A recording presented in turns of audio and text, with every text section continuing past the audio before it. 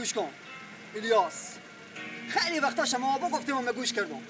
شما دادیم مسخره کردیم ولی گوش دادم و سر چون به ذهن ما او چیزی بود که شما هرگز تصور نمی‌کرد اگه میره پایین پس گوش کن. الیاس. ها.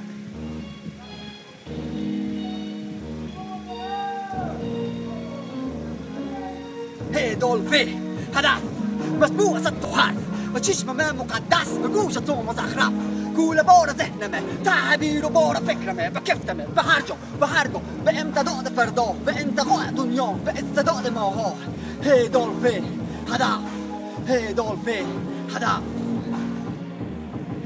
یعنی کف زیر آب یعنی صف در رکاب یعنی هفت تا سراب یعنی پاپ بار و باب یعنی تاب یعنی باب یعنی ذهنمه که صد تا طور بکنه و صد تا زور مشکنه و صد تا طور می‌زنه و صد هزار می‌زنه دور بر رپمه مثل بافت گپمه مثل حس لپمه و جپمه راستمه و جپمه و چوپ تو و خپمه چوپ تو و خپمه هدف پشت سر هدف رو به رو هدف پایدار مثل دوست هدف ته خون ته رگ زیر پوست. هدف یعنی راز آرزوست. هدف یعنی برو جلو چی با باخت چی با برد یعنی باید خورس پرد یک در جنگی تا که مرد یا که برد یا که تیر شد از رکورد. هدف. هدولفه هدف. هدف یعنی او چیزایی که تو هرگز به دست نبودی. هدف یعنی من هدف یعنی تو. هدف او لیستی که روبروی محال نوشتی. هدف نمرده رفیق. اور زنده به گر نکن هدف یعنی ماهانیم گروه ما.